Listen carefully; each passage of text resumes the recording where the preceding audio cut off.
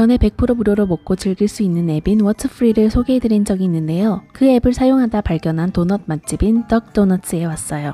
그때그때 다양한 도넛을 만들어서 신선하기도 하고 따뜻한 도넛을 먹을 수 있어요. 앱 사용해서 전에는 무료로 먹었고 이번에는 캠파이어 어sortment인 12개의 도넛을 주문하면 도넛 한 개를 더 준다고 하더라고요.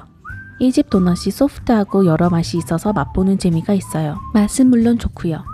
또 전자레인지에 8에서 10초 데우면 방금 만든 도넛처럼 먹을 수 있어요.